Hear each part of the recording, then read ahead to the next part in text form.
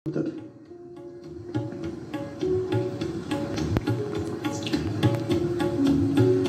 मंत्र की ताकत।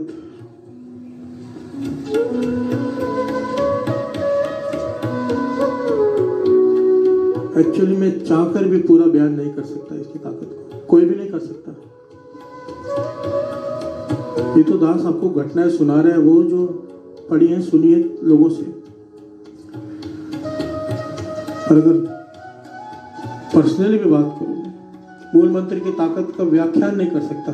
प्यार से बोलिए धन गुरु नानक, अगर आपके पास मूल मंत्र है, आपकी हवा तक को कोई नहीं देख सकता। प्यार से बोलिए धन गुरु नानक धन गुरु नानक। वो कहते हैं ना, जाम गुरु है, वल, लख बाहे क्या कीजिए गुरु कैसे वल होगा?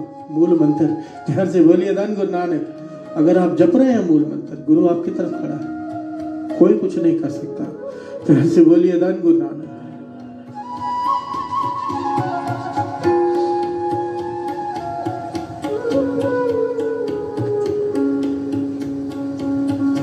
सिंह साहब, ज्ञानी सरबजीत सिंह जी को ये घटना सुनाए उन्होंने ये घटना सुनाई है, बड़ी कमाल की घटना है, दुबई की। कहते हैं, दुबई में एक सरदार जी के ट्रांसपोर्ट का बिज़नेस, प्यार से बोलिए धन गुरु नानक। वो बिज़नेस इतना बढ़ गया कुछ ही समय में कि आसपास वाले आपको पता ही है फिर। जो वहाँ के शेख थे, मुसलमान थे, उन्हें उनसे ईर्ष्या हो गई। प्यार से बोलिए धन गुरु नानक।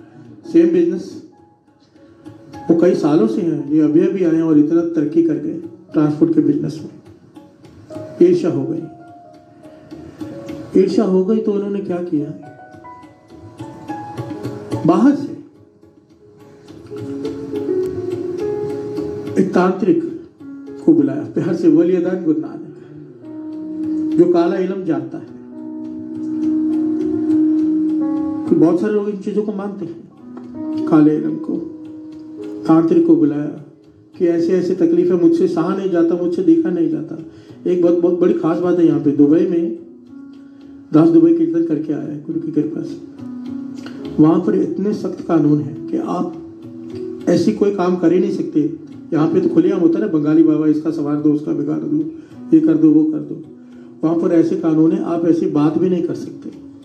आप किसी भी धर्म के बारे में एक लफ्ज भी नहीं कह सकते, बुरा। अपने गुरु की जितनी मर्ज़ी उस्तत करो, दूसरे के धर्म की निंदा बिल्कुल भी नहीं। अगर आपने की, आप कोई भी हो, सीधा जेल में डाल देते हैं। प्यार से बोलिए धन गुरु नानक। धन गुरु नानक। और ये कानून सिंगापुर में भी है। मैं तो कहता हूँ, भारत में भी ये कानून बन जाना चाहिए। ये जितने भी झगड़े फसाद होते हैं होते हैं इस वजह से हैं कि दूसरे के धर्म की निंदा करते हैं लोग। प्यार से बोलिए धन गुरु नानक। करो ना अपने गुरु के उत्तर सबसे बड़ा सदगुरु नानक हम कहेंगे, पर दूसरे को छोटा कहने की क्या ज़रूरत है? यार से बोलिए धन गुरु नानक। और यह तो है भी मूर्खता। हर एक के लिए अपना गुरु बड़ा होता है। यार से बोलिए धन गुरु नानक। आप उसका सत्कार नहीं करोगे वे आपका कैसे करेगा? बहुत अच्छा कानून है। इसीलिए उसने तांत्रिक बाहर से बुलाया। प्यार से बोलिए, धन गुरु नानक होटल में ठहराए उसे और उसके मिलने चले गए कि ये तकलीफ़ है, आपको जितने पैसे चाहिए ले लो।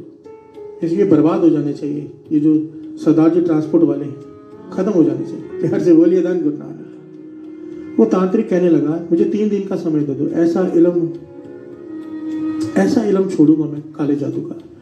कि इनके घर में अपने आप चीज़ों में आग लगनी शुरू हो जाएगी, ट्रक पलटी होने शुरू हो जाएँगे एक्सीडेंट होने शुरू हो जाएँगे। तीन दिन में ही बर्बाद हो जाएँगे। प्यार से बोलिए, धन गुरु नानक। ये खुश हो गया। तीन दिन हो गए, जो गया उनसे मिलने, कहने लगा, वो तांत्रिक कहने लगा, मैंने सब कुछ कर दिया अब जाकर देख कर आओ क्या हाल है उनका। बर्बाद हो चुके होंगे। ये गया वहाँ पे। उनके ऑफ़िस में जाके बैठा, पता करने के लिए। तो उन्होंने बुलाया, आओ, शेख साहब बैठिए, चाय वगैरह पूछी तो बातों बातों में पूछ रहे पता करने के लिए कि कैसा काम चल रहा है, कोई नुकसान होगा तो पता चल जाएगा।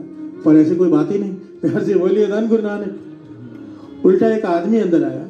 उसने कुछ कागजात दिए जिसमें ये पता चला कि चार ट्रक आज नए और लिए इन्होंने। प्यार से बोलिए, धन गुरु नानक ये परेशान हो गया। इसको मिठाई खिलाई, खुशी से, कि चार ट्रक और लिए। ये मिठाई किसी तरह तो खाली इसने दौड़ कर गया होटल में। तांत्रिक को पकड़ा मेरे पैसे वापस दो। प्यार से बोलिए, धन गुरु नानक। तांत्रिक कहता है, ऐसा हो नहीं सकता। आज तक मेरा इलम खाली नहीं गया। तुमने इतनी दूर से मुझे बुलाया, कोई कारण है? लोग मेरे को दूर दूर से फ़्लाइट की टिकट दे के बुलाते हैं किसी को बर्बाद करने के लिए। यहाँ से बोलिए, धन गुरु नानक। एक बात समझ लेना, सात संगत जी। बहुत सारे लोग यहाँ पर भी ये सब करते हैं, मुझे पता है। एक बात समझ लेना। वेदों शास्त्रों को पढ़ के कितनी मुझे समझ आई। जो जो मुझे आज तक पढ़ के समझ में आई, जो मुझे समझ आया, ये कहीं पर लिखा हुआ नहीं है। मैं मैं अपने एक्सपीरियंस से कह रहा हूँ। जो ऐसे काम करते हैं या जो ऐसे काम करवाते हैं दोनों, इनकी मरने के बाद बड़ी सख्त सजाएँ हैं। क्या पता? इन्हें प्रेत की योनि मिलती है। वो भी हज़ार साल तक। प्यार से बोलिए धन गुरु नानक। हज़ारों साल तक ये सजा मिलती है। उसकी वजह है ये काला इलम होता क्या है? आत्मा को काबू किया होता है, बुरी आत्मा को, उनसे काम करवाते हैं। और जब ऐसे काम करने वाले मरते हैं, इनकी आत्मा को भी काबू करके फिर वही काम करवाया जाता है। प्यार से बोलिए धन गुरु नानक। ये भटकते हैं फिर। और ये सजा बहुत भयंकर है, बहुत भयंकर। ये अगर इसको बताने लग जाऊँ कि भूत प्रेतों का हाल क्या होता है, उनकी आत्मा का तो उसके लिए अलग एक डेढ़ घंटा चाहिए प्यार से बोलिए धन गुरु नानक। धन गुरु नानक। तो गुरु मेहर करेगी, ना कभी ऐसा किसी के बारे में सोचना। सिंपल सी बात है, मैं तो ये सब बातें छोड़ के एक छोटी सी दास बात कहता है। जब तक दूसरे का बुरा सोचेंगे, अपना भला कभी नहीं हो सकता। प्यार से बोलिए धन गुरु नानक। कभी भी नींबू मिर्ची तक अपनी दुकान, गाड़ी, घर पे मत लगाओ। क्या होता है? क्या करते हो? सोच देखो ना। नींबू मिर्ची वाले की सोच क्या है? कि मेरा बला टल के ज़मीन पे फेंकेंगे, दूसरा ऊपर से जाएगा, उसके ऊपर चली जाएगी। और जब तक ये सोच है बानी कहती है, जब तक पर का बुरा ना रखो चित तुमको दुख नहीं, भाई मीत, शब्द पढ़ा था हमने थोड़े दिन पहले। जब तक हम दूसरे का बुरा सोचेंगे बानी कहती, तेरा भला हो ही नहीं सकता। प्यार से बोलिए, धन गुरु नानक, धन गुरु नानक। अमृत वाले ट्रस्ट का आदमी अमृत वाले ट्रस्ट से जुड़ा हुआ अमृत वाले उठने वाला, उसे तो नहीं शोभा देता। नींबू मिर्ची लटकाई हुई। प्यार से बोलिए, धन गुरु नानक। धन गुरु नानक कुछ नहीं होता और ऐसे में होता भी कुछ नहीं। ये सब ऐसे ही है। मैं तो एक दो बार नींबू निचोड़ के पी भी गया हूँ। ज़रूरत पड़ी तो। मज़ाक ही नहीं कर रहा गुरु साहब जी की हजूरी में कह रहा हूँ। मेरे मित्र, हमारे सब ट्रस्टी बैठे थे। किधर बैठे थे? नींबू नहीं था। तो सामने टंगा हुआ था ताजे। तो मैंने कहा, ले आओ। तो एक दो जन तो घबराए, मैं बोला, मत घबराओ, आज करके देख लो, काट के, निचोड़ के खा गए हो। बोलिए धन गुरु नानक, धन गुरु नानक।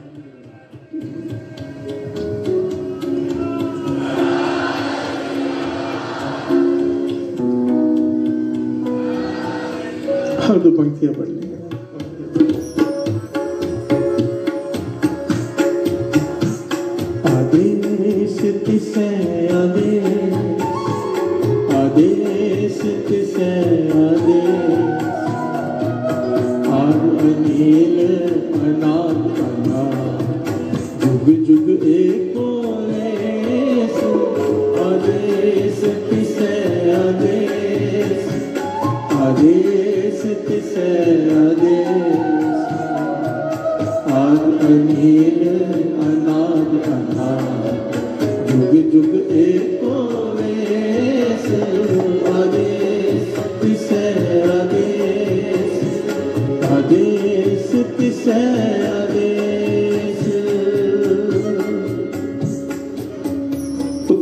कहने लगा, ऐसा हो नहीं सकता।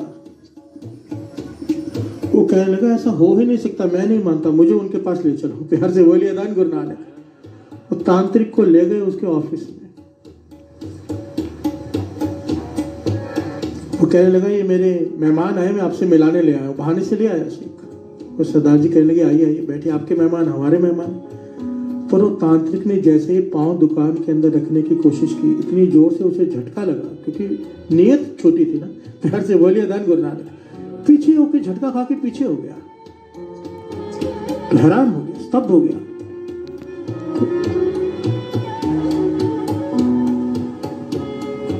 उसने सवाल किया, सरदार जी, एक बात सच सच बताओ। तांत्रिक ने खुलकर सारी बात बताई प्यार से बोलिए दान गुरु नानक कि आपके पास कौन सा इलम है? प्यार से बोलिए, धन गुरु नानक। वो कहने लगे, इलम, क्या बात कर रहे फिर तांत्रिक और उस शेख ने सारी बात बताई कि हमने ऐसा सोचा था, पर आपके साथ हुआ नहीं। खुल के बताई कि मुझे आपसे ईर्ष्या हो गई, मेरे मन में गलत भावना आ गई, मैंने कोशिश की करने की, पर आपका कुछ बिगाड़ नहीं पाया, और ये तांत्रिक कहता है, ऐसा हो नहीं सकता। तो तांत्रिक पूछता, कौन सा इलम है? कहने लगा, भाई, इलम क्या होता है? हमें तो इसका भी पता नहीं, प्यार से बोलिए, धन गुरु नानक। कहने लगे, फिर आप किसको मानते हो? क्या करते हो? तो उन्होंने कहा, हम गुरु नानक को मानते हैं। हम गुरु नानक के सिख हैं, उसका दिया हुआ मूल मंत्र जपते हैं। प्यार से बोलिए, धन गुरु नानक, धन गुरु नानक। तो उसने कहा, मुझे पढ़ के सुनाओ, क्या जपते हो? तो जब उन्होंने पढ़ा एक ओंकार सत्य नाम, कर्ता, पुरख, निर्भव, निर्वैर, अकाल मूर्त, अजूनी सैभंग, गुर प्रसाद, जप, आद सच, जुगाद सच, है भी सच, नानक होसी भी सच, जब नानक का नाम आया साथ संगत जी, ये घटना इतनी बार इतनी अलग अलग जगह पर हुई है, ऐसी घटनाएँ पर जब नानक का नाम आता है तो तांत्रिक ने हाथ जोड़ दिए बस से बोलिए, दान गुरु नानक। कहने लगे, जिस, ये बात ये बात ना सात संगत जी, बहुत बार आई है, बहुत बार। कहने लगे जिस गुरु ने मुझे इलम दिया था, उसने कहा था, जहाँ पर एक याद रखना, जहाँ पर नानक का नाम लेवा सीखो, गुरु नानक का। जहाँ पे नानक आ जाए, वहाँ पर तेरा इलम काम नहीं करेगा, वहाँ पर कोशिश भी मत करना। ध्यान से बोलिए, धन गुरु नानक, धन गुरु नानक।